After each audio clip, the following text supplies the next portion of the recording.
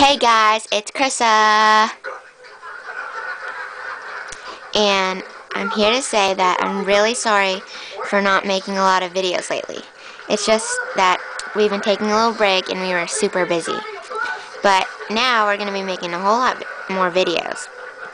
Including I Caroline. And my birthday's coming up, so stay in tune for that. It's on March 28th. And Bailey's birthday is coming soon on April 15th, so stay tuned for that too. So yeah, I just wanted to say I'm really, really sorry about that. And yeah, so bye.